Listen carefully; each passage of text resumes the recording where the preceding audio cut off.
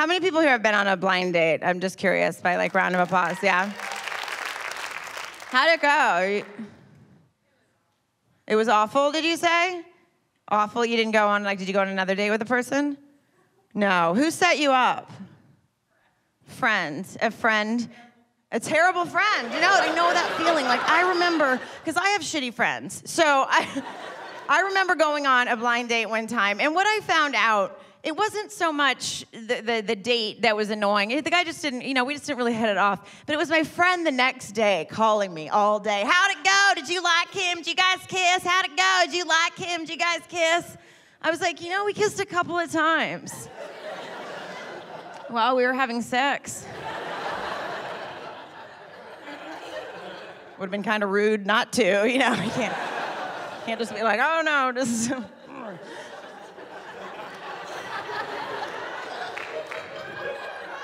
And she was so excited too. She's like, oh my God, you guys had sex on the first day. You must have really liked him. I was like, oh my God, he was so annoying. Wait, like guys, seriously, I just I would like to say to you, just just FYI, if a woman has sex with you on the first date, that doesn't necessarily mean that she likes you. right, ladies? And now you guys know where the sluts are sitting in case you want to.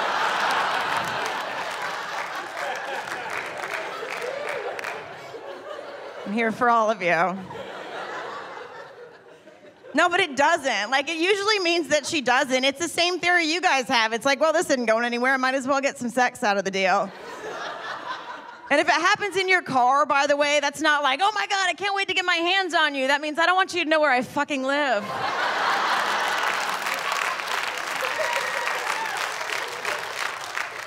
uh. But I know that it sucks being single. Oh, you know my friend that I was talking about at the beginning, the online dating girl? Oh my God. She was over the other night.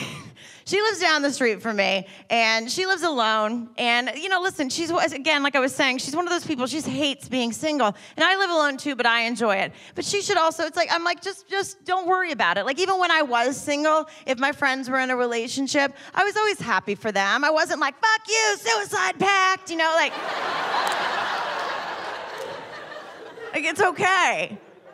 So she's over the other night. She lives down the street, and we're talking, and she's like, Would you ever think about what would happen if you died tonight in your house? What happens if you die? And I was like, Is that a threat? Like, what? What's happening? And she was like, No, do you ever think about it? Like, you don't have any a roommate or a boyfriend living here. Like, what if you just die tonight? What if I leave and you die? Do you ever think about that? Do you think about it? And I was like, Well, I'm thinking about it now, asshole. Like, Great hangout, by the way. I invited you.